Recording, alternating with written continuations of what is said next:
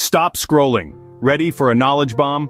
Cicadas, those winged wonders, emerge in cycles. 1, 13, or 17 years. That's patience. Over 3,000 species exist worldwide, each with their unique rhythm. Their strategy, predator satiation. An ensemble appearance confuses predators. Brilliant, right? Below ground they live, molt, and feed on tree roots. Their life, a cycle of growth and decay enriches the soil. Females lay hundreds of eggs in tree twigs, tracking time by host tree cycles. Size?